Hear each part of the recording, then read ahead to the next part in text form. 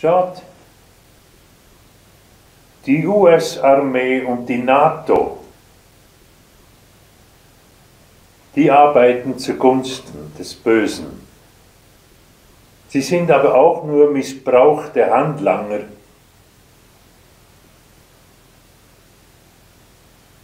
von weiter oben.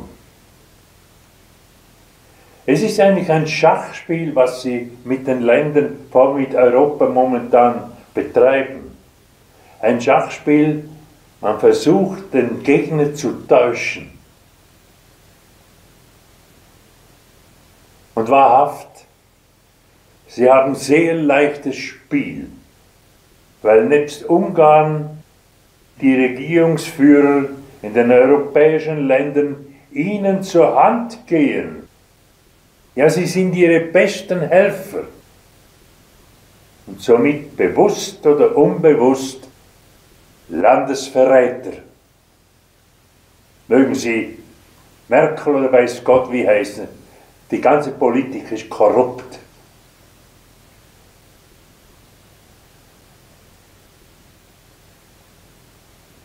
Da erkenne ich nichts von Christlichkeit.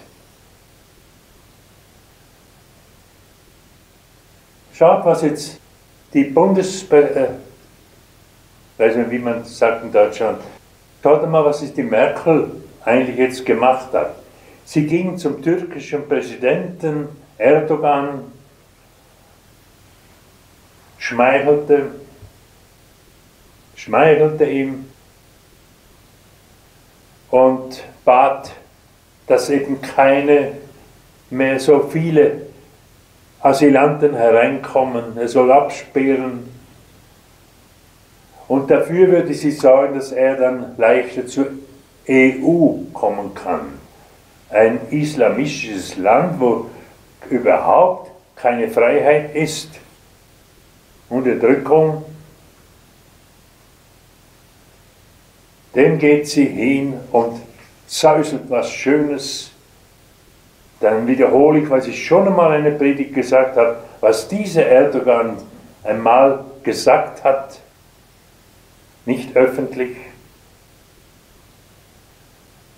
Die Demokratie ist nur der Zug, auf den wir aufsteigen in Europa, bis wir am Ziele sind.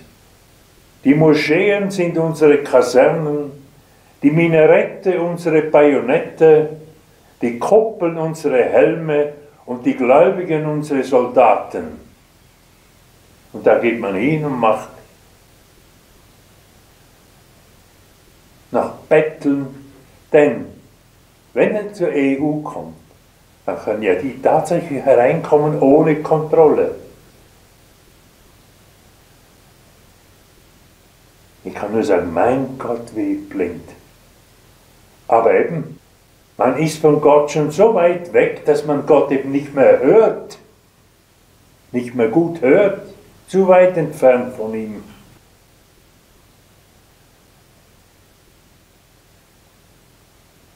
Man will eigentlich vorerst mal in Europa, dann überall eine Multikulti-Gesellschaft einführen,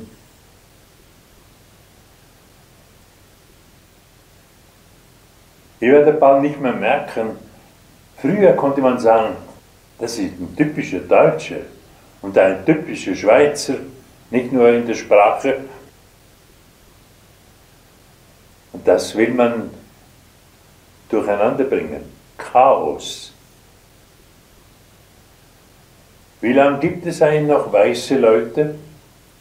Es sind ja so viele Farbige hereingekommen vor allem Dunkle.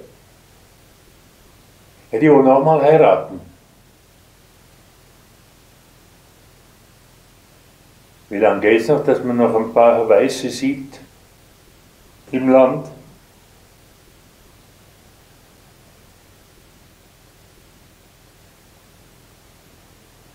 Heiland hat sich auch, er war auch in seiner Gegend, hat sich gezeigt als Nazaräer.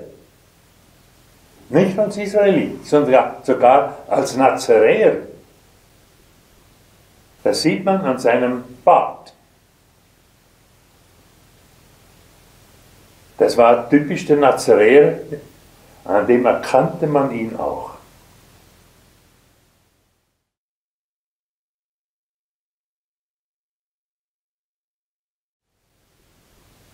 Ihr werdet einfach von Medien und Politikern betrogen und belogen. wenn ich so rede über solche Sachen in einer Kirche, dann nur weil ich Angst habe um euer Seelenheil, weil ihr von Gott entfernt Ich persönlich finde, habe nichts so Schönes erlebt in der Welt, wie Gott zu lieben.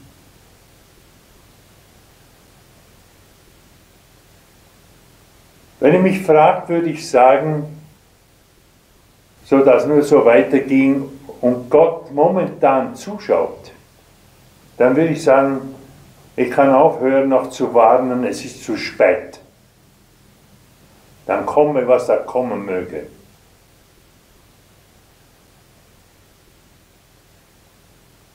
Ich wage es kaum zu sagen, ich habe es nicht anders verdient. Meine, der Großteil der Menschheit. Alles ist nah. Sonntagsgebot, schlafen ist besser.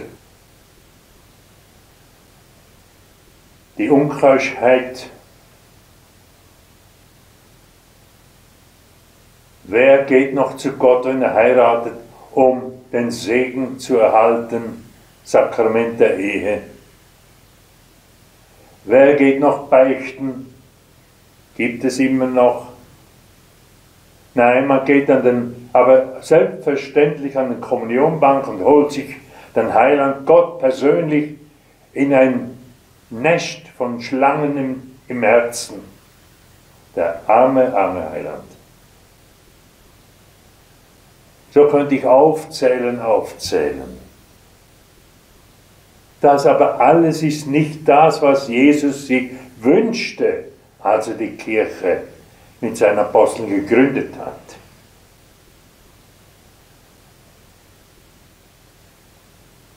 Aber nicht nur die Menschheit ist schuld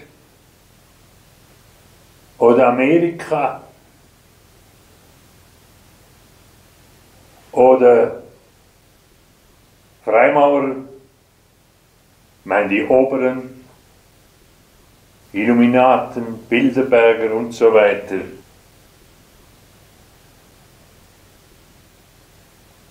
Nein, die Kirche ebenso.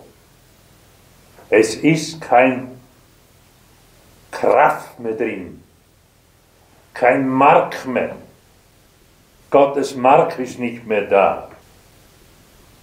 Aber schuld ist ebenso das laue christliche Volk. Und eben das Boden, Bodenpersonal der christlichen Kirchen. Die Geistlichkeit bis zu den höchsten Würdenträgern haben mit ganz wenigen Ausnahmen versagt. Was hört man vom Papst? Er führt die heilige, heilige Jahr ein, aber Barmherzigkeit. Lasst alle Flüchtlinge, die Islamisten herein in die christliche Kirche, lasst sie herein.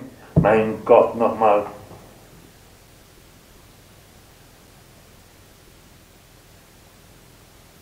Und ich höre kein Ding von der Kirche, eine Warnung.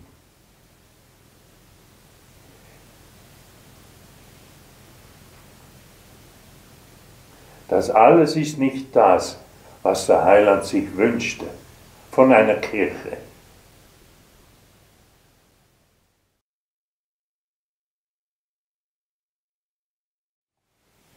Also ich muss predigen, was Gott will, nicht was der Mensch will.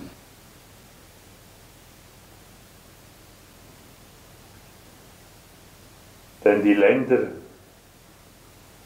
sind nicht christlich mehr. Ihr wisst, was ich mal gesagt habe, die werden belogen, belogen, belogen. Und Mama muss man tatsächlich Widerstand leisten.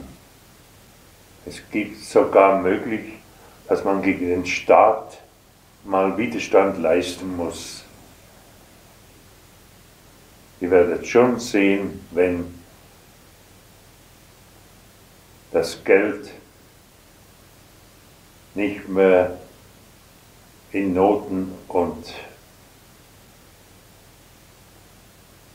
also in Geldscheinen ich weiß jetzt nicht, wie das soll sagen,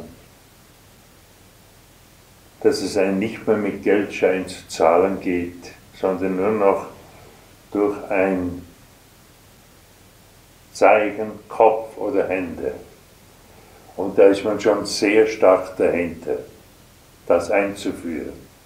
So hat der Staat dann alles im Griffe. Ob du nur ein Kaugummi kaufst oder rausliest, mit, dann musst du, du kannst es nicht mehr mit einem Frankenstück oder sowas reinwerfen oder Euro, sondern man muss die Stirne oder wo es auch ist hinhalten. Und alles kann übersehen werden, was du tust. Es bleibt dir nur noch entweder Tauschgeschäfte oder selbst anbauen, was du nötig hast.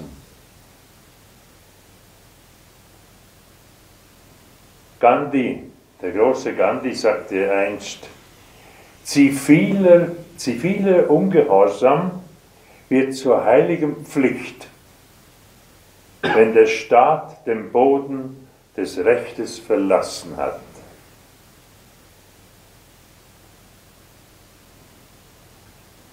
Darauf sagte er dann, sicher, zuerst ignorieren sie dich, dann lachen sie über dich, dann fallen schon viele um, und dann bekämpfen sie dich und dann gewinnst du. Aber zuerst kommt das Ignorieren, das Auslachen und das Bekämpfen.